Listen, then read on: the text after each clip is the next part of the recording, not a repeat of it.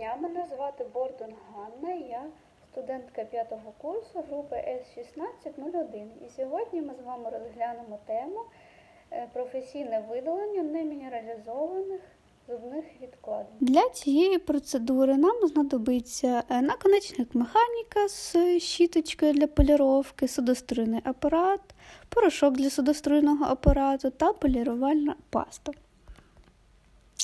Е, Починаємо наше очищення з судоструйним апаратом. Е, Потрібно нашу струю направляти від ясен, тобто до направлення краю нашого зуба, краю жувального зуба у даному випадку. Е, Це стосується, якщо ми користуємося порошком на основі соди. Тому що якщо направляти у напрямку до ясен, то вони травмуються. Якщо ми користуємось порошком на основі гліцину або кальцію, то ми можемо очищати наш зуб у будь-якому напрямку.